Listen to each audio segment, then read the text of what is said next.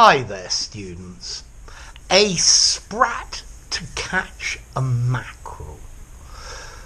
Okay, this is an idiom that means you need to risk or spend a small amount in order to get back something bigger. For example, you know the free samples of food they give you in the supermarket. Well, this is a case of a sprat to catch a mackerel.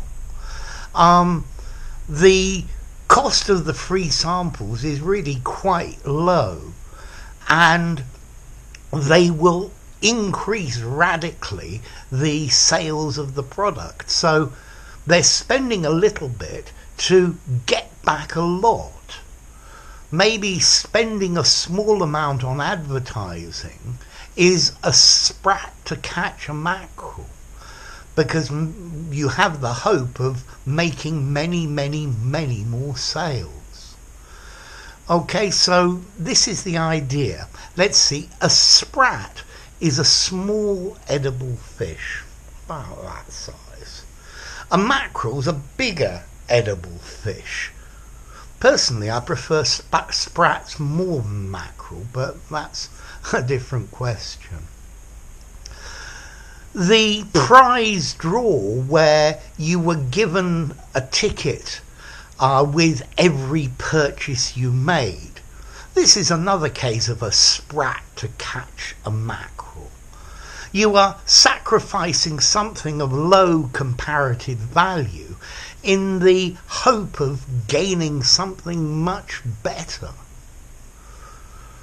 I don't know if you play chess, but in chess, if you sacrifice a piece, you sacrifice a bishop, maybe this is in the hope of taking your opponent's queen.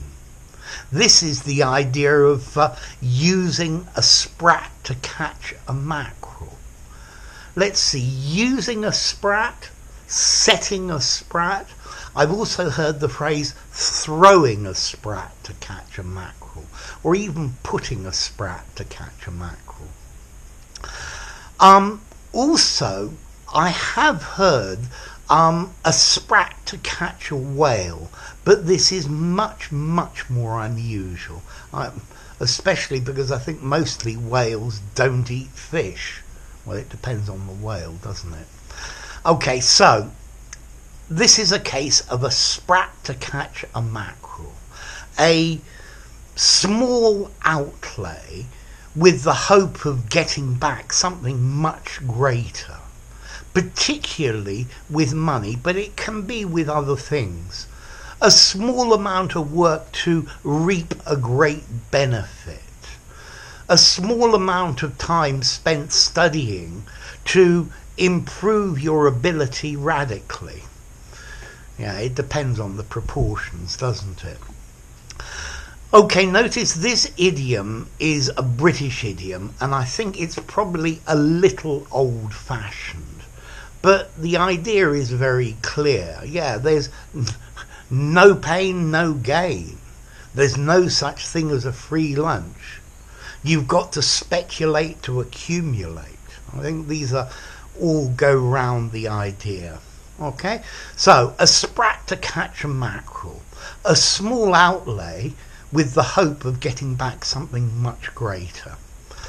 Um, formality, I'd probably give this a 4, 4.5 in formality. Use it in an informal conversation, use it in something semi formal, but in something very formal, an idiom like this. I would say a, a small expenditure in the hope of uh, get, of gaining uh, much more. Yeah, you're going to have to explain it. So there you go.